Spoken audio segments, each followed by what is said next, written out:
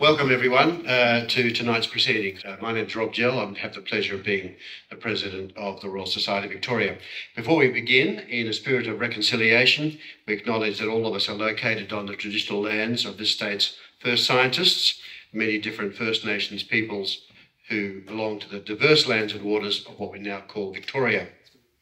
We're coming to you, of course, tonight from the lands of the Wurundjeri Woi people, and I invite everyone joining us tonight either via Zoom's webinar chat function or YouTube's comment section for those following on the live stream to acknowledge the traditional custodians uh, of your own local country and join me in paying respects to elders past, present, uh, and likewise extend that respect to any Indigenous Australians who have joined us in the meeting tonight. Uh, before I do begin and introduce our uh, special guest speaker, I'm delighted uh, that joining us we have a new Vice President at the Royal Society of Victoria, Professor the Honourable Carolyn McMillen. As uh, you may, many of you will know Carolyn, uh, she we've had some discussions and I've been able to persuade her to join the council and she seems to be still most enthusiastic about doing that, uh, which is good. So you'll know, some of you will know her as formerly the Vice Chancellor of the University of Newcastle and State Scientist in South Australia, amongst many, many other wonderful things. So we're looking forward to uh, to working with you, Carolyn, and welcome to the Society. If I th- probably for your first lecture here, is it? It is, and thank you. Thank you. No problem. So tonight we're delighted. So tonight we're delighted to be joined by Professor Patrick De Deckker AM for his presentation on Holocene climatic fluctuations in the Australian region. Patrick is our 2023 Medalist for Excellence in Scientific Research in Category 3 Earth Sciences. And now, our Medal for Excellence is our most prestigious award that the Society awards annually. I'll tell you a little bit about uh, Patrick's research career uh, before I hand over to his nominator, who happens to be Professor Peter Gell, uh, to give us a more uh, informal overview. And Mike, I was going to ask you, is this the first time there have been two emeritus professors of paleoecology? Sorry, that's a bit brief for you, in the, in the Royal Society at the same time? Uh, I'm not sure. I think they're pretty thick on the ground, those paleoecologists, so it's, uh, it's very, very likely. Yeah, yeah. yeah. Uh, Professor Patrick Deckker, uh, AM and Fellow of the Australian Academy of Science, is an emeritus professor based at the ANU College of Science. Patrick pioneered the study of quaternary history of the oceans bordering Australia, that's the last two million years, and has principally used microfossils and their chemical composition to reconstruct past changes. It was also first to link patterns of environmental change on land through salt lake records and at sea, again using microfossils and other proxies. He, was, he has found that during the Holocene, the oceans have progressively warmed. Now, when was that, Patrick? Because I think that's probably common knowledge today, but that was some time ago. That's right. That's right, yeah. His most recent innovative research deals with the microbiological and geochemical fingerprinting of airborne dust with the aim at linking dust events with changes in the oceans. Patrick completed his PhD in the Department of Zoology at the University of Adelaide on salt lakes, their biota and quaternary lacustrine deposits, a field he continued during his postdoctoral uh, positions. He then obtained a DSc from the same university, this time from the Department of Geology and Geophysics, which is a nice switch as well, uh, for long-term accomplishment in the fields of limnology, paleolimnology, paleoceanography, and micropaleontology. And my brother informs me you could be otherwise described as a limnogeologist, which I don't think I would have heard that before, but it's a really nice, it's a really nice thing. In 1998, uh, Patrick joined the Australian National University and held a full-time teaching position combined with research up until his recent retirement. Throughout his career, Patrick's works has been, has been multidisciplinary in nature with a common aim to obtain information of relevance for the reconstruction of past marine and continental environments of importance for the understanding of global and regional climate, climatic variability. In recognition of his efforts and achievements, he's been awarded the Verco Medal in 1992, the Australian Society for Limnology Medal in 2005, the Christopher Plantin Medal in 2008, the Mawson Medal in 2010, and the Brady Medal in 2019. And tonight, little later, the Royal Society of Victoria's 2023 Medal for Excellence in Scientific Research. In 2007, he was appointed a member of the Order of Australia for his research and teaching efforts and an officer of the Order of Leopold II by the Kingdom of Belgium. in 2018. My brother tells me that's about drinking Belgian beer and out, for outstanding achievements in science. So much for my uh, formal account. I'm now going to hand over to Peter uh, to give us a more visceral reading of Patrick's research advances. Peter.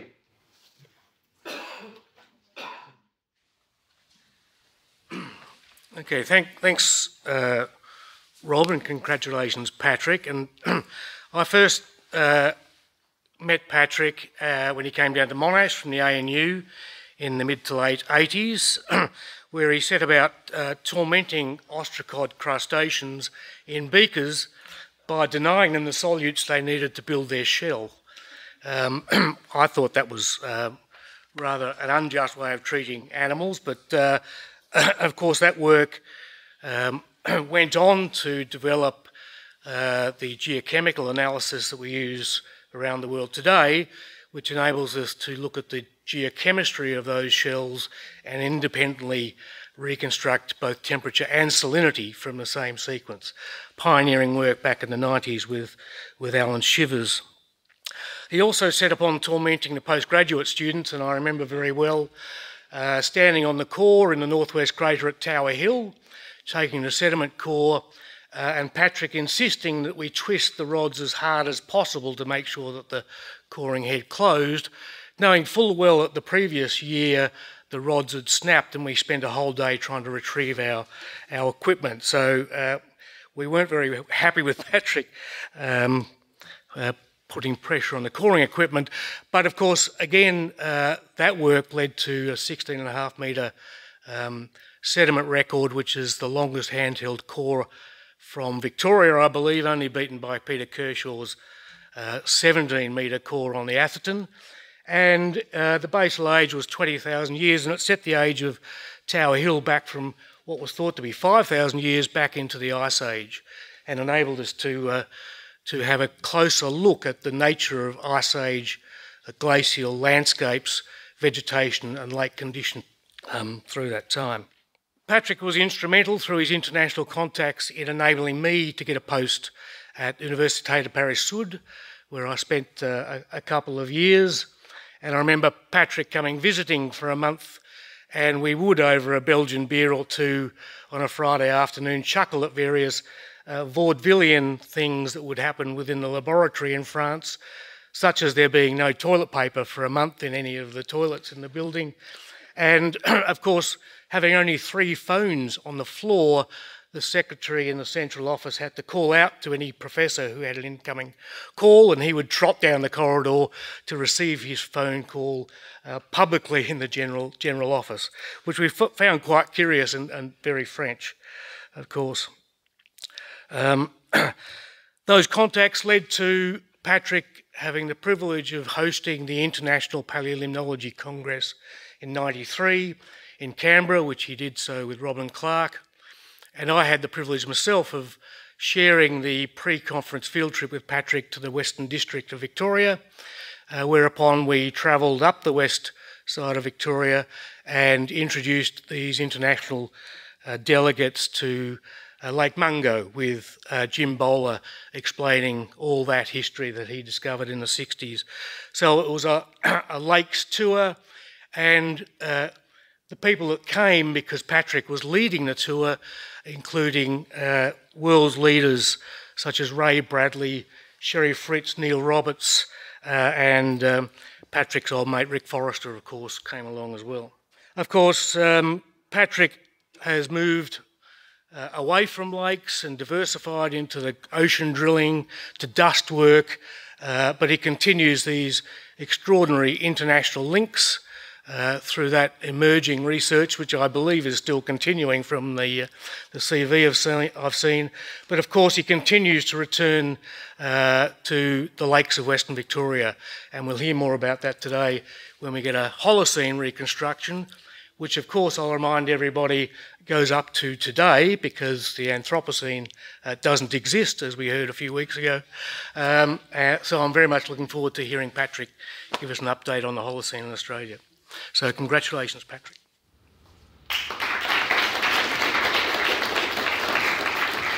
Thanks, Pete. Um, I also have an email to share from Professor Jim Bowler.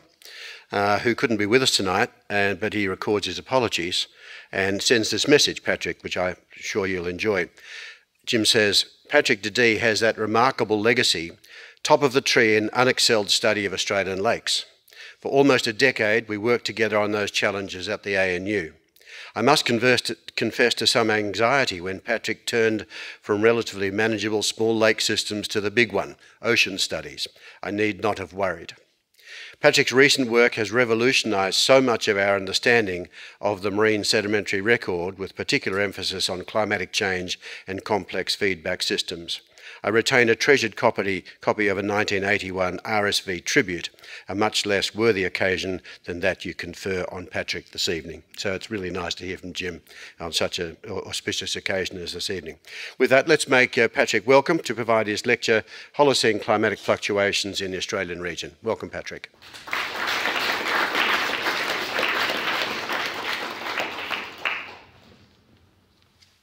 Well, thank you very much indeed, I feel very privileged to being in this uh, Augustus place. So I'd like to talk about the Holocene, the last 12,000 years of uh, uh, Australian history, and you will see uh, there have been many, many changes.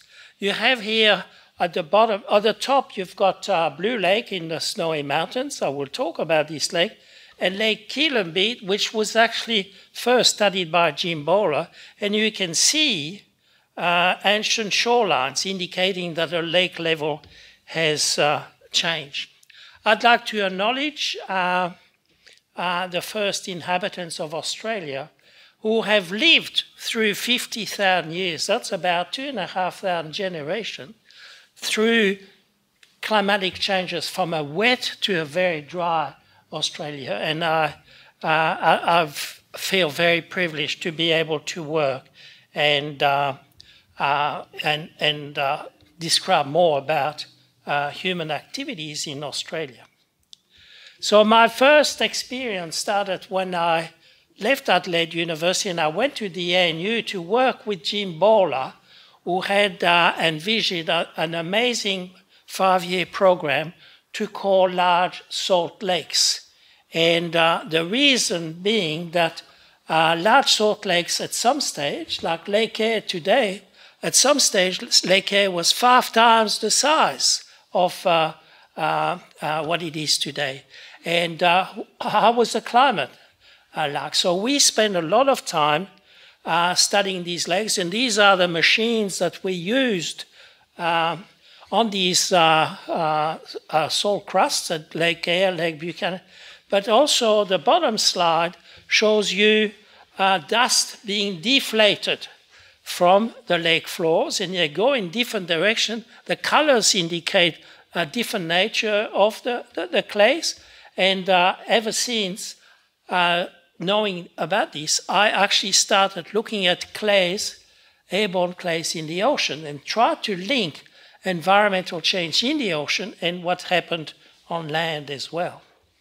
So I'll just take an example, this very large uh, Lake Buchanan in central Queensland, very uh, saline on this plateau, and you can see some ancient shorelines uh, of this lake, indicating that at some stage uh, the lake uh, had a lot of water.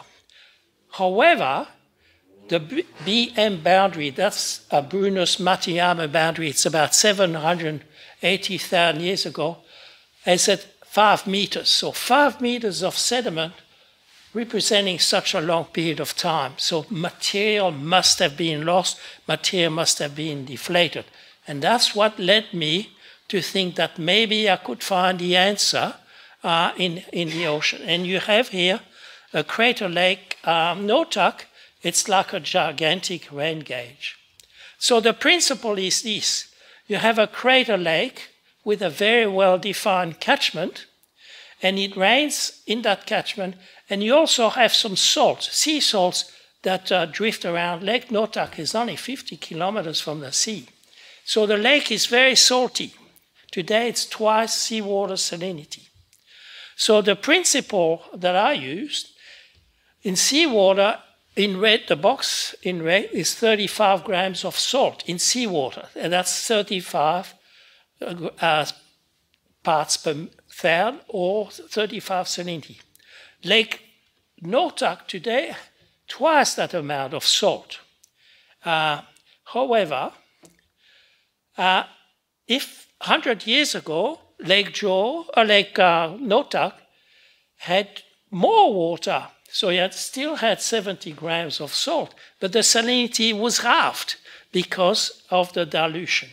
And in the past, about three and a half thousand years ago, the salinity was 140 uh, parts per thousand grams per liter. So I used those proxies to tell me about climate change. So there are principles uh, worth considering with respect to past climate.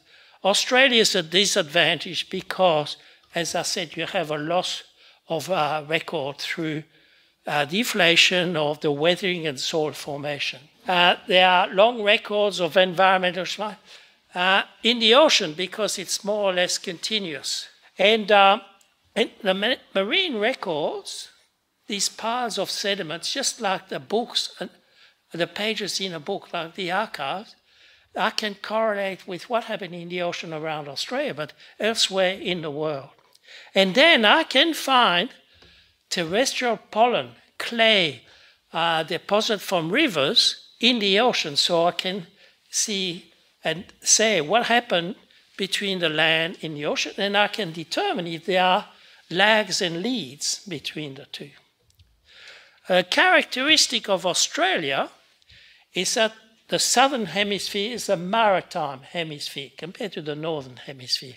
It's bordered by three major oceans, and Australian climate is dictated mostly by the ocean, what's happening in the ocean. And you have the Indo-Pacific warm pool north of Australia that borders around uh, Indonesian, Indonesia and other islands.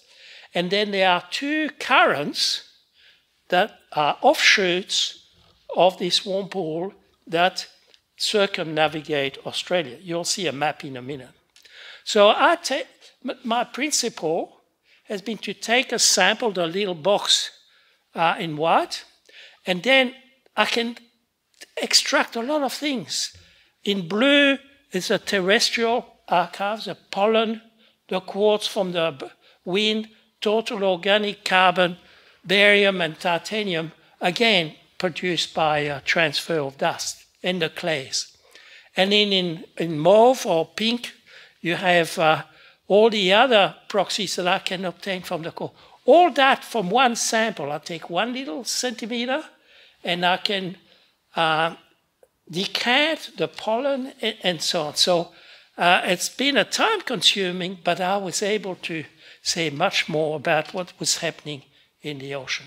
And have a look at this map of Australia, and we actually went to look for many cores. And uh, it's been a very difficult exercise at times. Uh, to go at sea for one day is $50,000, and you have to be with a large group of people. So today I will talk about three cores, and these are the red rectangles, one in northwest uh, near Exmouth in uh, Western Australia, and then two in Victoria and South Australia. Oops. So you have to remember that uh, sea levels 20,000 years ago, sea levels were about 125 meters below that today. You could walk to Tasmania, you could walk to uh, New Guinea, and have a look at the periphery of Australia. Uh, you see where Darwin is and so on. And we, and this warm pool, where there were a lot of people living there, uh, was very, very different. And then sea level rose sometime at uh, of the order of one meter every 90 years. This is a lesson to take because we are witnessing a sea level change. I will talk about this lake there, uh, this core, and uh, you just uh, the gray uh, uh, curve here indicates sea level change. And then we have a proxy to reconstruct sea surface temperature. And you have to look at the axis in thousands of years, going back to 30,000.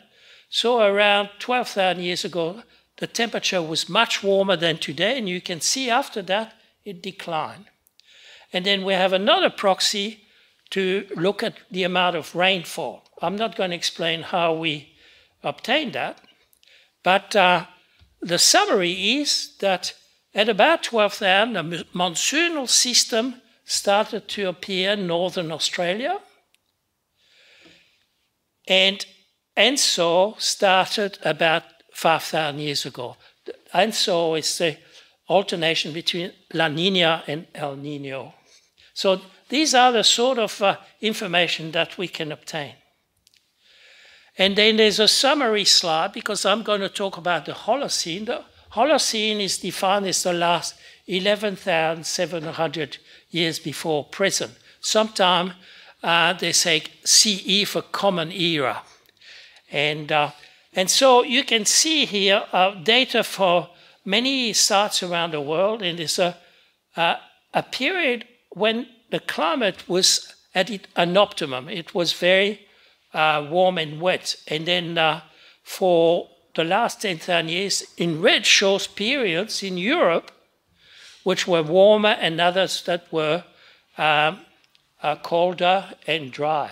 And you have the Little Ice Age, and that some of us interested in wines know that uh, you no longer could have grapes in the UK, and they switched to brewery.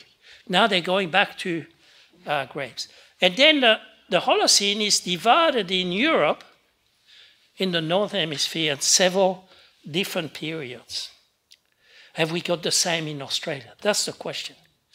So there are some magnificent, outstanding changes during that period from 12,000 years ago.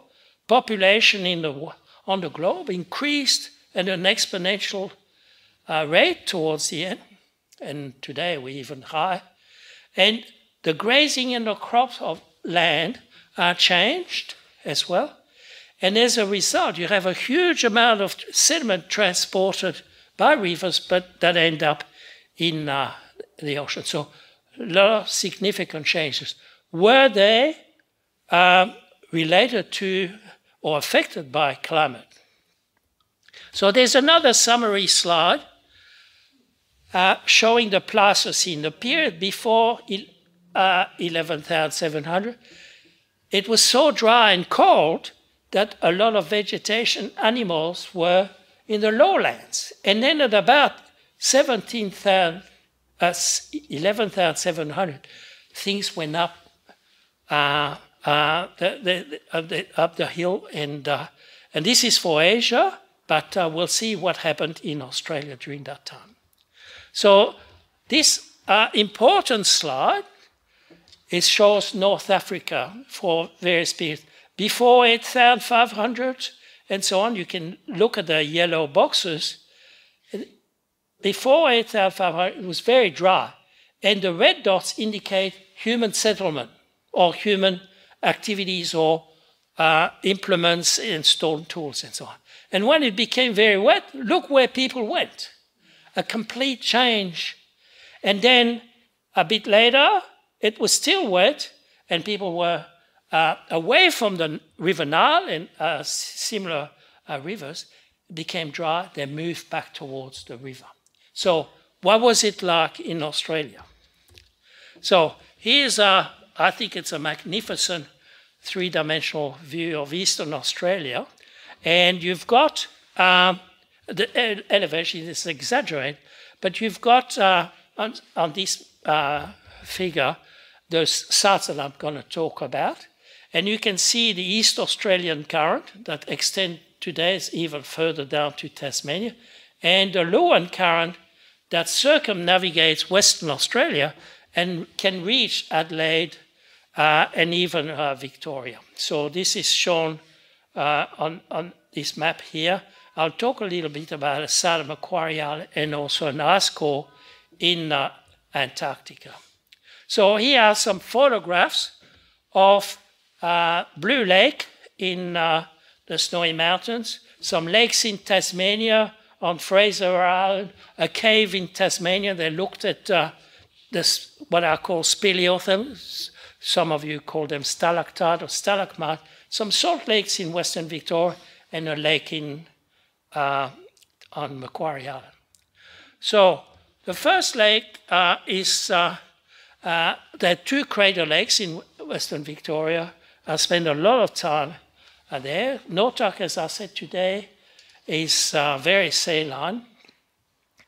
And uh, we consider them as gigantic rain gauges, and I gave you the reasoning behind that. So I'm now going to go look at lakes from the north, from uh, Lake Mackenzie in uh, Fraser Island, and uh, people have reconstructed air temperature above the lake from the chemical, organic chemical composition of, uh, of the sediment. And uh, there's uh, highlighted in red a period of time between about 8,000 and 5,500, a period when the temperatures were high. In the uh, uh, Snowy Mountains, Blue Lake, and uh, people have looked at pollen in Blue Lake, and they found pollen of Pomaderris, a plant that does not exist around Blue Lake today. And also, we looked at uh, little grains of quartz that we found in, in the lake. And so, uh, just go for Pomaderris. Pomaderris was abundant between 8,000 and 5,000 years ago. So that's that red bar again. And then there was very little quartz grain indicating reduced winds. And if time allows, I'm going to talk a little bit about the pygmy possum, this little possum that I can hold in my hand, that lives today at the snow line. And people are worried that it will disappear with climate improving. But I will argue that 5,000 years ago, when there was, the snow line was above the lake, a pygmy possum must have lived. The big difference between what happened in the past and today is today the environmental change is extremely fast. The animal genetically hasn't got perhaps the time to recover. Uh, more about that later. So I had to mention Lake George, uh, very well uh, studied and today is full of water. And, uh, and again, looking at from zero to 12,000 years ago, there are three phases when Lake George had very high levels. Again, the red bars indicate very similar to those events that I discussed uh, before. There was a, a phase about in 1880 when the lake had close to eight meters of water, and you had steamboats on the, on the lake. But more, more about this later. So, paleolimnology, the word that was uh, mentioned uh, before, is looking at archives in those lakes. And here we had a coring device with compressed air coming out like a rocket out of the wall. It's pretty exciting. The adrenaline is pretty good. But we got four meters of sediment, and these four meters are just like pages in a book, and one centimeter represents two and a half years of deposition. So we can actually look almost at on a yearly basis what happened in this lake.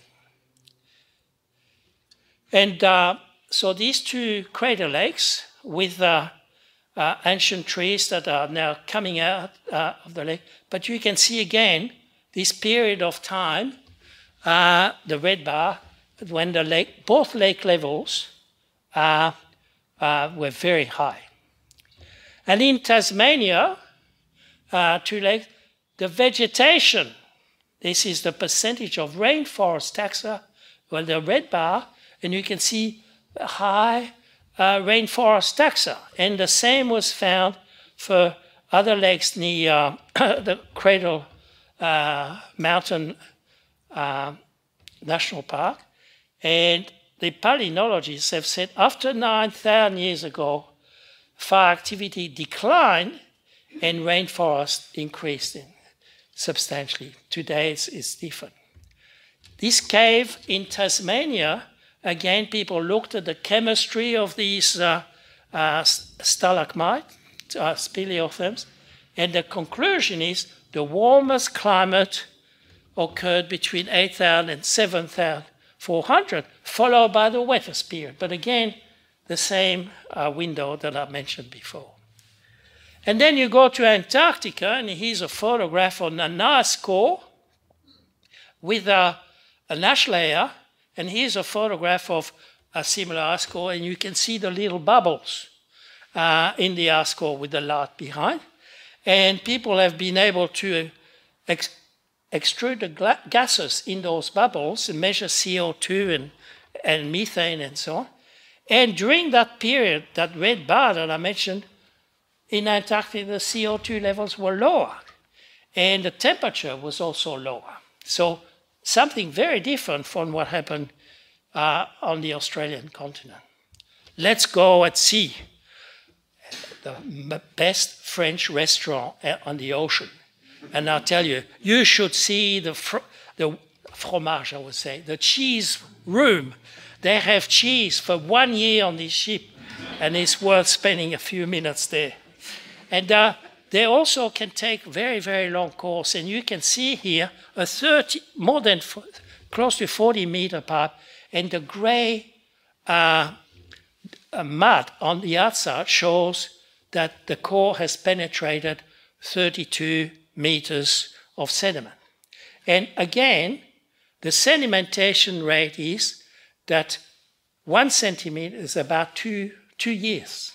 Okay, we, so we've got these archives we can compare, and it's a lot of work. And uh, we got the cores in uh, many years ago, and, and uh, it, it, took several uh, years to, to extract the information.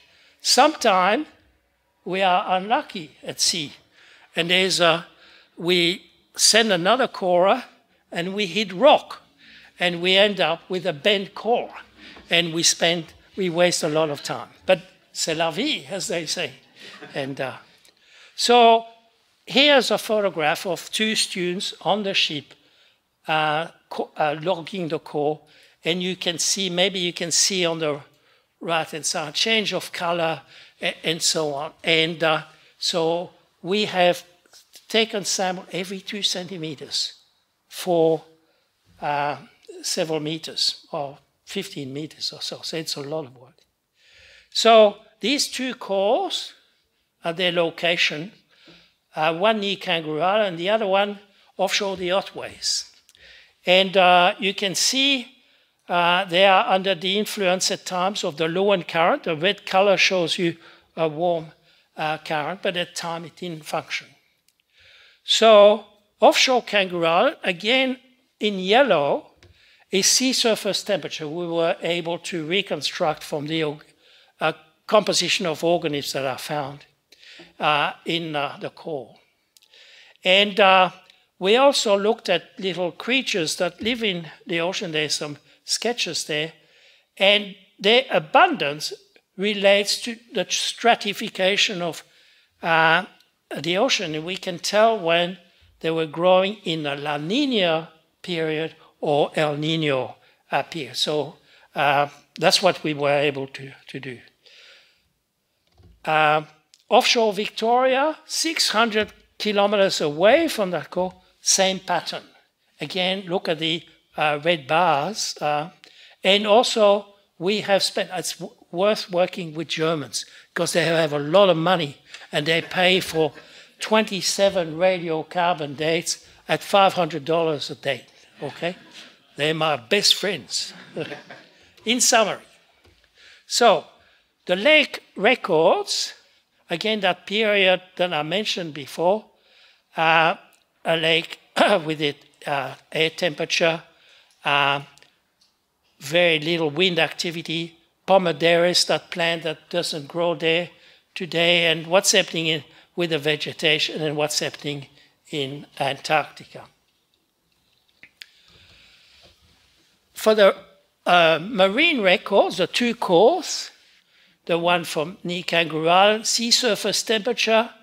By the way, pay attention that from about 5,000 years ago, temperature progressively dropped by two degrees. Today, we're going back up. But the trend is there, like the core that I showed you from northern Australia before. And again, uh, a La Nina uh, period there. And then we looked at glaciers in uh, uh New Zealand because they're also affected by uh, ocean temperature. And in blue at the very bottom, the curve for the two crater lakes in Victoria.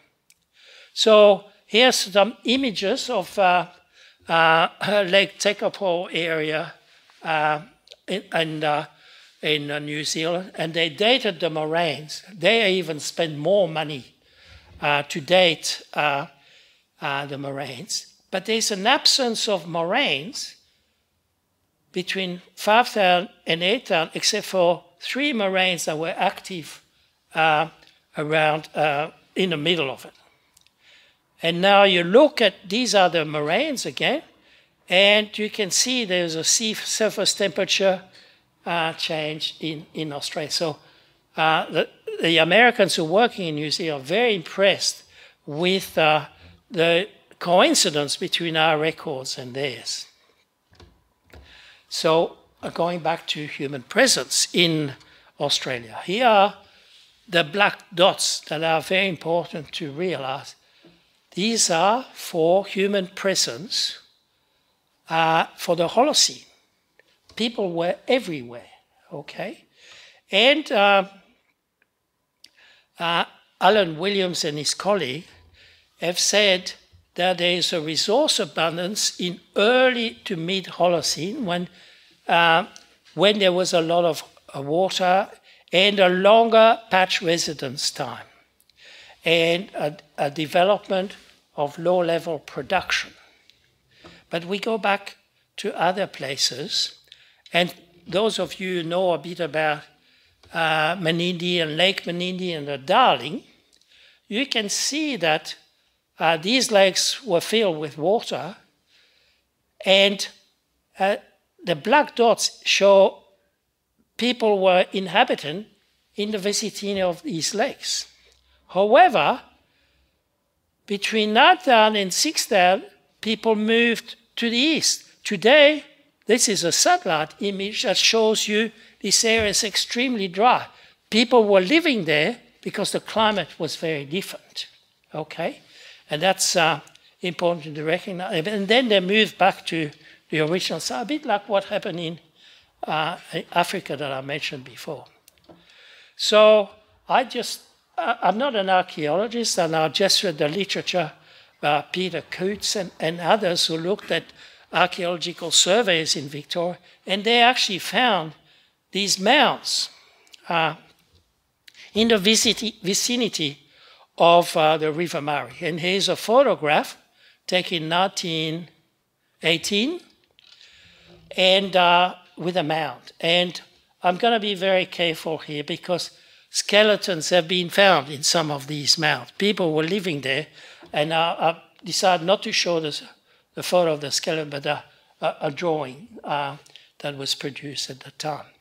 Now, what I discovered also, another survey, you've got Lake Bolac near Mount Hamilton. The black dots identify mounds everywhere, and I must admit, I have crisscrossed this countryside. I'd never seen them. I was unaware of their existence, and I I'd like to, to go back and, and have a look. But people were living in agglomeration very close to rivers. Let's go to other places in Australia where you have earth mounds discovered in northern Australia, in South Australia, in Victoria New South Wales. And uh, here is a detailed uh, archaeological work done with uh, uh, some LiDAR uh, uh, photographs showing occupation around rivers. And the archaeologists say people were living in large groupings, villages, and hamlets around water bodies that suggest our ecological hotspot. But when after eight, 4,000 years ago, after that wet period, a, a warm period. Another site in South Australia, again some mounds, and uh, the eldest mound date dates to 4,800, 4,200. After this very wet period, when ENSO, the alternative, alternative between La Nina and El Nino occurred, uh, they started to settle down, and not before. And uh, again, another uh, uh, with new radiocarbon dates published only a year ago, uh, showing a broadening of the darts in, in response to environmental challenges and of demographic social factors. So a very big change. And now I read a paper that was published last week uh, by Michael Bird and others from James Cook University that fire activities in northern Australia near Darwin uh, changed completely around four or five thousand years ago. So climate really affected human population. So the summary of my presentation during the Holocene, it is a period of time that uh, stands out. It was wetter and warmer.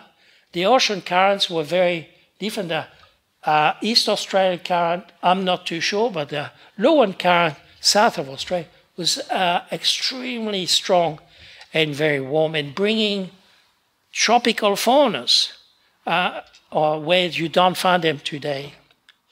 And uh, the westerlies, is very important winds that bring the rain, were further south. Okay, so uh, the climate was much, much uh, more kind. So it was the equivalent of a continuous La Nina phase. And it lasted, the dates are here, you can read them. And uh, I'll, I'll uh, uh, have to thank many people, Peter Kershaw and, and many others. But I have to, especially in the middle of the slide here, mention all my colleagues and students who this work wouldn't have been presented here without uh, uh, their, their help and their interest and their enthusiasm. And we definitely had an international laboratory. And uh, my first PhD student is sitting here in the front who uh, actually had been at sea before me. So these students taught me how to take cores and, and do things like that. So I benefited very much from that uh, younger generation. Then the Australian Council uh, provided me with a few dollars, and the uh, French Polar Institute with its French restaurant, uh, which I will never forget. And uh, being a chief scientist, I was at the table with the captain, and I had a bottle of wine at lunchtime and at dinner time. But during the three and a half days in Kangaroo Island, I didn't sleep. The adrenaline was strong, and we just worked day, day and night.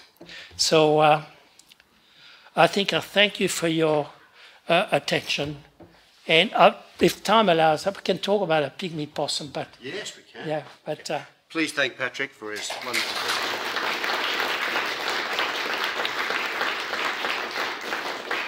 So what do we need to know about pygmy possums?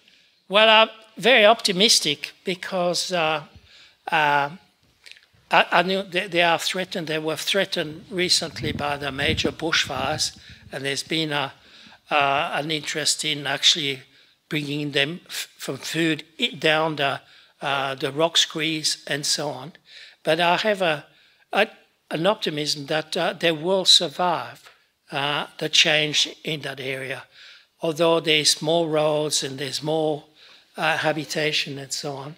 But uh, I think, uh, and I think the vegetation will change too. And I think Pomaderris, that plant that I mentioned, will come back uh, up there. Well, there's some people. In, there are some people in the audience might have some questions on exactly that about food source for possums and all sorts of things. Anyway, I think I won't ask. There's many people here, and I know there's about perhaps 30 online, and there'll be lots of questions. So, can we begin? Uh, I was fascinated. I learned a lot, and I had really enjoyed your presentation. It was terrific. you. So, what about some former students? What have you le- what have, what have you learned again tonight? No pressure, but Uh, back to Western Victoria, Patrick, and of course, um, eucalyptus almost completely replaced casuarina at around about 7,000 years ago. Yeah. So nearly, you know, from Geelong to the border was all casuarina. Then by seven, six and a half thousand years ago, it was all eucalyptus. Yeah. How does that fit in with this hypsithermal Yeah, eight, there- eight to five? There's an issue about the vegetation in Western Victoria because there's the uniqueness of the soil. Okay. Whereas we now know, I looked also at the vegetation uh, before the Holocene. During the glacial period, when sea levels were 125 meters below that today, casuarina, no, Callitris, Callitris, the native pine, was everywhere. So when you drive through the hay plains and there's all little pockets of Callitris in uh, Canberra, I think they're a relict forest from those glacial times when the climate was extremely dry and much colder. Temperature was 8 degrees below that of today. But there were people around. So, uh, uh, very important. how's everybody dealing with the time thing tonight? It's really cool, isn't it? Yeah. Well, feel obliged to ask a question then. Uh, first, I want to thank you for your mentorship, Patrick, and it was really nice to be your student, the first student, long time ago. Um, yeah, I wanted to know have your opinion about the fact that uh, El Nino started five and a half thousand years ago. What triggered it, in your opinion? I don't know. And um, the people in New Zealand, the Americans who start looking at the moraines when there were the major changes, they don't know. They know that it links with the westerlies. The westerlies are very, very important in our region. And you know, when the westerlies are very strong in winter, and the climate in Victoria is not that comfortable. And uh, but at times the westerlies uh, uh, move further south, and uh, it's very rapid, very rapid. Yeah. And what's happening today? Because we know that the the the uh, anticyclones are now moving further south with climate change as well, and that's presumably having a similar impact. That's right. Yes, and uh, um, I am very curious. Uh, I, I've looked also in some of our work at the core that we've got offshore kangaroos opposite the mouth of the River Murray. So in that core, there's all the clays that come from the River Murray, and we actually have uh, been, been able to identify that um, southern Australia has different clays than uh, around the Darling because of the ge- geological formations are different. So for the first time, we were able to say when the Murray was flooding water from from the Darling and not from the south, and uh, so it, it's and the vegetation was different too. So and the we know also that the rain in the Darling area and its catchment comes from the north, not from the south. So there are, there, we need to know more about it. And I regret in many ways that uh, a lot of ecologists and meteorologists only look at the last hundred years. And uh, going back to the Holocene, we can actually identify significant changes, and people ought to appreciate that. Okay, so I, I can't see any questions, so I'm going to ask another one. Is uh, you got some online? Okay, let me ask one. So, the the prime minister I know gave a billion dollars to a new solar uh, Australian Yeah. solar panel manufacturer to locate in the Hunter Valley. If you had a billion dollars And uh, perhaps uh, the Germans haven't got quite as good food as the French, have they? But if we had lots of Germans who wanted to spend on things to do, what would you? What do we need to do? What would what would be the one thing? What would be the next voyage or the next trip or the next Yeah. twelve No, months that you'd like to see done?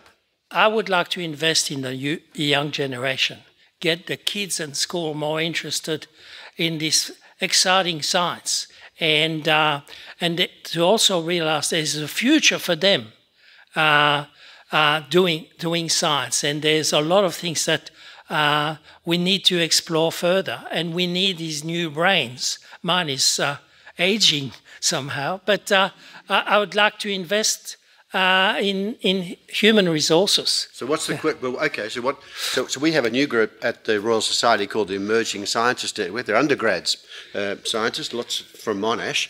What's the question you want them to answer? Uh, I would like them to in, invest in multidisciplinary science. I think if you just do one thing, and I, I, uh, I have you've heard that I'm interested in many different things, but it's by combining these information.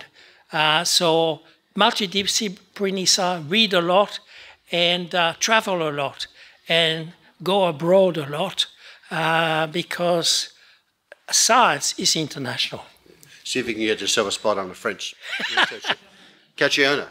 Yes, thank you for the presentation. I'm passing along questions from online. We've got lots of people listening in online, um, but please do stay by the microphone because otherwise they won't hear your answers. You can speak a bit louder. Speak up loud. Yeah. Um, so there, there was a mention on, on one of your slides um, of around anthropogenic change in relation to river sediments. So someone was just asking if you could expand, please, on um, anthropogenic changes that were causing the river sediments to change too. I'm not sure if I heard a question. It was about anthrop- anthropogenic changes Yeah. with river sediments. Yeah. Yeah, but I would like to say that uh, people have been in Australia for 50 plus thousand years. They have changed the vegetation. They have changed uh, the climate indirectly. People are now very much aware that if you burn the vegetation, uh, the, the, runoff is, is, is very different. And uh, it's uh, so practices uh, have been for a long time. We know uh, from a call near Lake, at Lake George in, in, in Canberra that uh, people have looked at charcoal in the core going back 600,000 years. And there's, there's statistically a, bit of charcoal now and again. And then there's a period of time when there's a huge amount of an increase of charcoal. People say that's humans. I'm not going to discuss the date because that's controversial, but it's human. And what happened? The vegetation spectra changed. There were more fire tolerant uh, plants, the eucalyptus and so on, and many others intolerant disappeared. So humans, for a long time, have affected the Australian continent. We need to acknowledge that, and we also need to know that in the last 200 years, and at Lake George again, charcoal increased more because there's more burning, but the vegetation has changed. Yeah, Duke of Veltus is one of our Royal Society councillors. yeah. So much. Uh, this really uh, brought back so many good memories as well of uh, I was traipsing across different landscape myself. And one of the things that you picked up on just now was the need for interdisciplinarity and transdisciplinarity. And one of the things that I loved about your presentation is it shows decades and decades of literally having your feet on the ground or, or on on on a seaboat. And I'm curious to um, ask you: Could you expand on? How does your brain work with the data in in in at the at the very local scale? You've done almost a hyper local and somehow you've managed to combine everything from from from the hyper local lake to all the way through to the oceans. Uh, and somehow with that you're also in, in, in investing in terms of thinking about the human side of it And one of the things, the reason I'm asking this question, a lot of uh, my students now are looking at models and theoretical models, and it all seems really overwhelming where you even start to think about putting that data together. Would you mind talking us through a little bit that process that you go through to connect all these brilliant uh, stories? Well, my first answer I sleep very little. and uh, so I have time to gather that, that data, but I'm, I'm very interested in the natural environment. And uh, I've been able to, I gathered a lot of information that perhaps proved uh, uh, unhelpful. And, but then some spectra of the vegetation and some clays in the rivers have given me some signals. And the more, as, and also I worked with many people, and their thesis and their dissertation and the articles and so on. And we've been able to, to match that there were some significant changes. And uh, that's very important. So the young people, I would like to encourage, do some uh, chemistry, physics, math, and statistics, and geology and biology. Uh, all these will bring you a, a, better comprehension of our environment. Does that answer your question? Do it all, yeah. Oh, Is one. there a question from, here we are, yeah. Yeah. Looking at the uh, charts you produce, there's some major variability um, over a fairly short time scale of, of you know, 100 years to three or 400 years. Do you have explanations for what generates this uh, large variability? And what causes it to change from one direction to another direction? Now, some some people are looking at uh, some people are looking at the position of the Earth with respect to the sun and this solar insolation and so on. There's some big trends there, but there are still some other minor changes, rapid changes we still don't know. And I think these are, are challenges. I'm a bit scared of, of modelers because uh, they need to look at my data and see how they, it fits with their models. Sometimes uh, they don't pay attention to that. And so that's why I'm so pleased to be able to publicize this a bit more.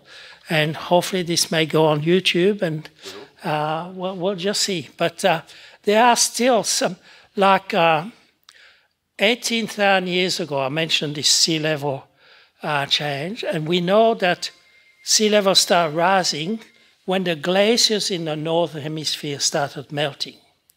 And we know that solar insolation and so on. But within less than a thousand years, glaciers in New Zealand just stopped working. They just retreated. And in Australia, uh, many of our lakes start filling up.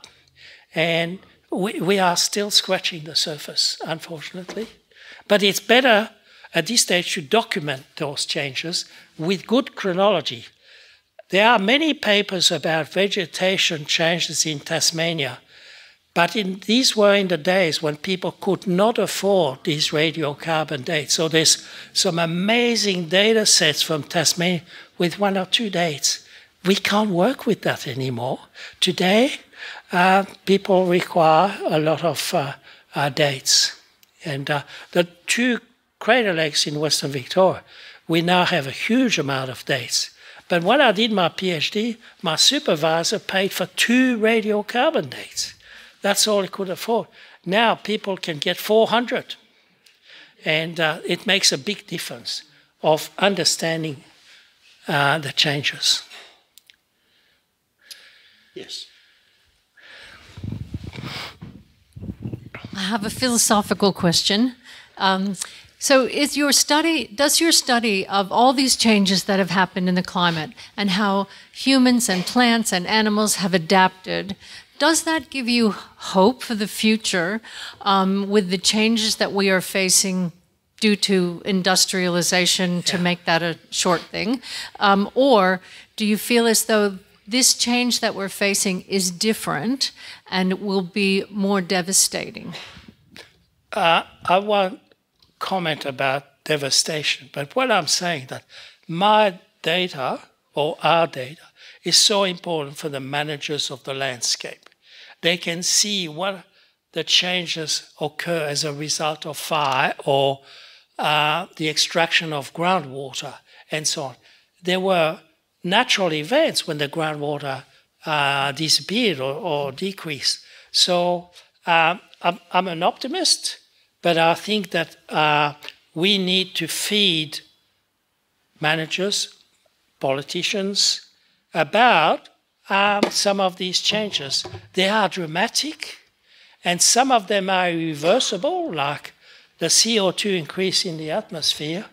If we stop producing CO2 tomorrow around the globe, it won't just start to diminish. It's just gonna stay there for a long time. So uh, we need to do more science. We need to be uh, more informative. And also, I discovered that um, we ran this excursion, Western Victoria, with all these people. We did not talk to the local farmers, to the local council and they were not aware of all the good science that we were doing. So I spent time uh, uh, giving talks to the Camperdown uh, uh, Shire, and I must admit, one day I offered to give a talk at four o'clock. Oh no, that's when we're milking the cows. So we had to postpone that a bit late. No, that's when we're feeding the kids. And uh, but anyway, I passed the message on, and uh, uh, but people need to appreciate this landscape. Western Victoria, with all these crater lakes, uh, tourists do the Great Ocean Road back and forth. Okay?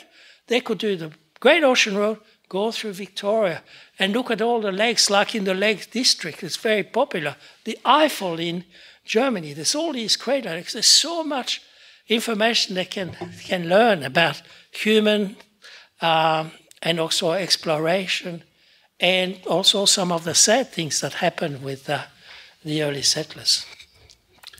Another question? Uh, yes, there is. Yeah, follow up. A follow up. From the geological record over the last 12,000 years and looking at the last 300 years, what, what are the trends from a geological or limnological perspective that you see you know, as, as a bit of a forecast for what might happen in the next hundred years, leaving out the anthropogenic. Uh, I, I haven't got a crystal ball, but I actually am very scared of the uh, climate change and climate uh, because uh, at some stage, in some places, going to become quite catastrophic.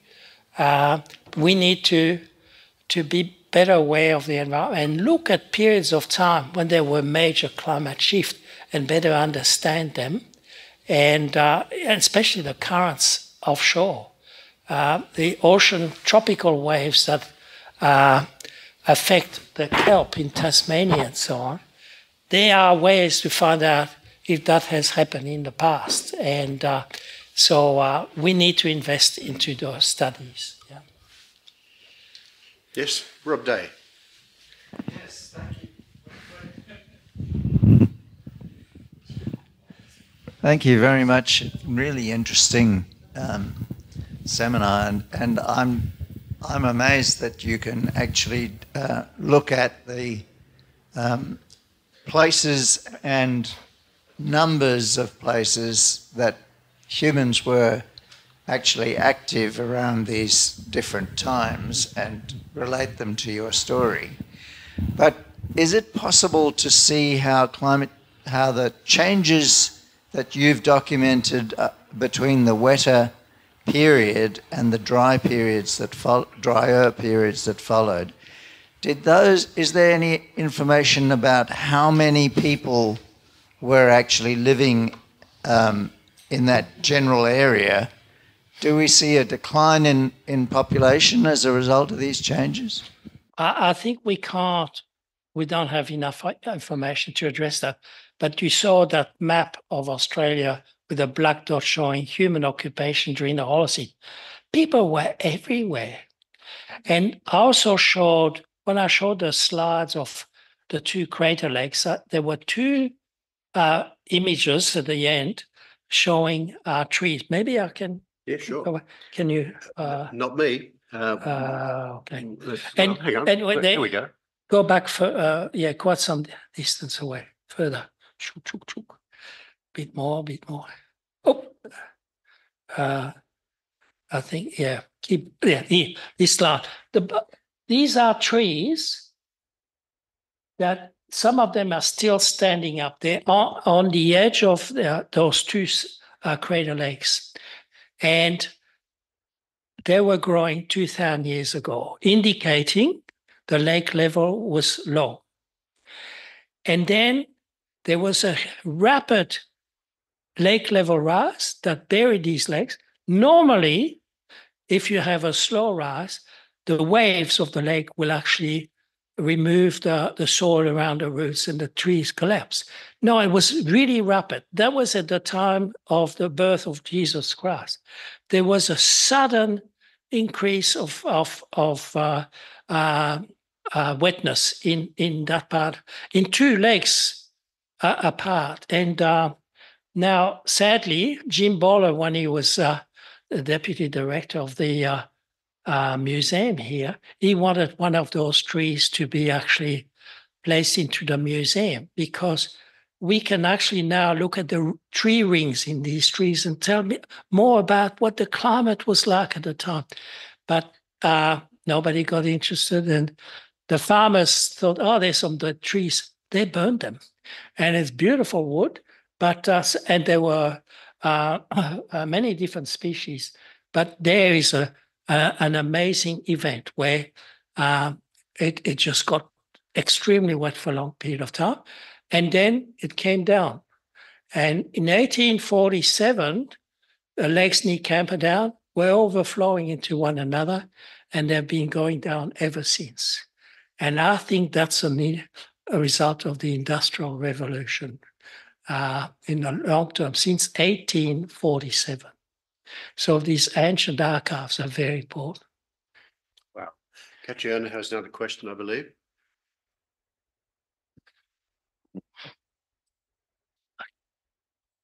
Up to here, so. Yep. Oh, hold it really close. um, you were starting to touch on on those sort of effects that we've started to see post industrial revolution. And someone is wondering how much resolution you can detect at the surface part of the cores. So in the past five to ten years is that still sort of holding up as each centimeter is about two years and we can get that detail? So I mentioned that uh, uh, you saw my, my map of Australia with all these black dots um, outside, and I studied many cores. But then I found a few cores that had high resolution, like the one offshore Victoria, the one offshore Kangaroo Island, where half a centimeter represents one year. Okay, so uh, it's a lot of work and very expensive too. But we haven't gone it year by year. But I took samples for the last 150,000 years every two centimeters. So uh, we've got a very high resolution, but people can do it a much higher resolution again. But uh, that's a new generation.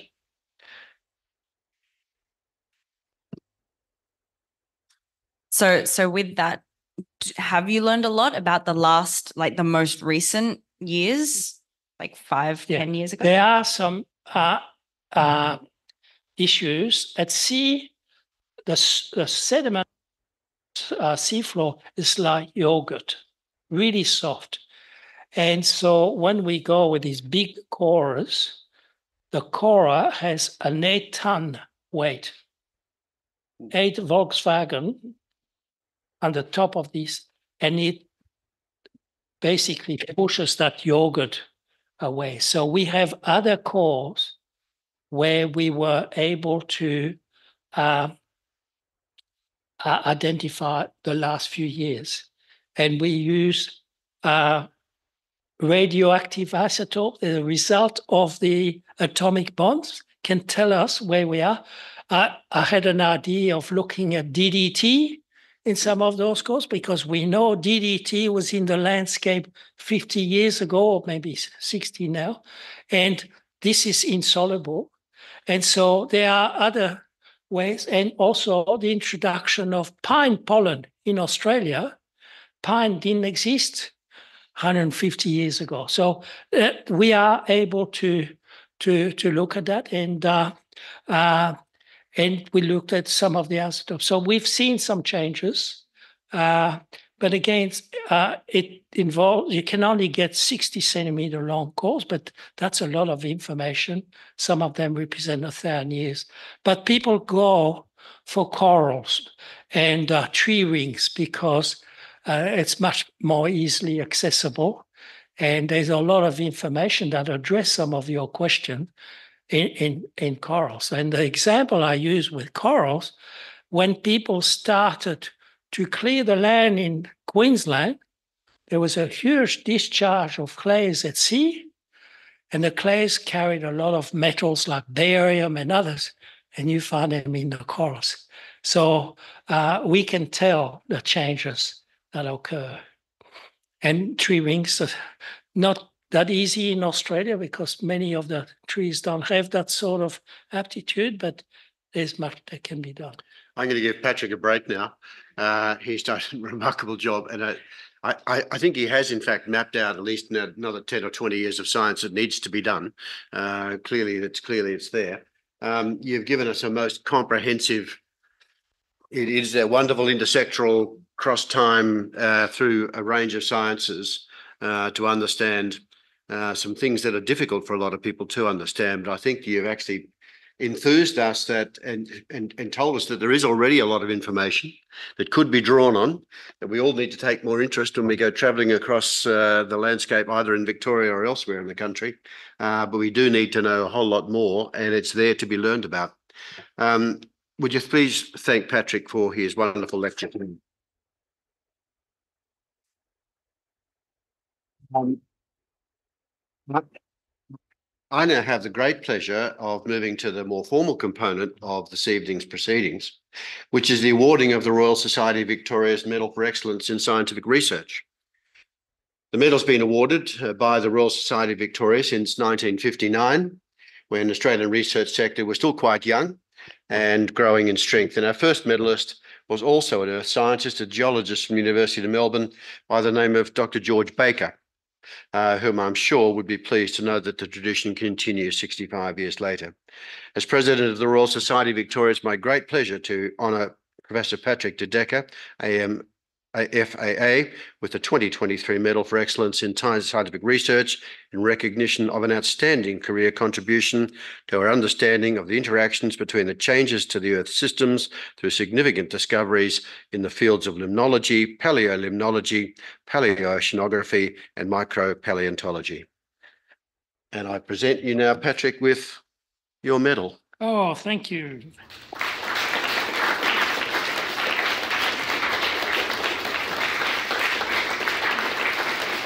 And, and my surname is spelled properly. you know, we're good at that here. We're good at that here. Okay. Yeah. Uh, I'm very chuffed. Thank you very much. And uh, uh, and I will. I hope that my uh, message in, in the video will actually stimulate uh, a lot of young people uh, to be ambitious, just like Jim Bowler was ambitious with his Salt Lake program, and uh, at first he said he was a bit reluctant to see me going at sea, but uh, I think I've done quite a few uh, things that I'm very proud of. And and But and, was- and he is too. And through the the help of many students and and postdoctoral fellows and so on. Thank you. No, it's a pleasure. It's a pleasure.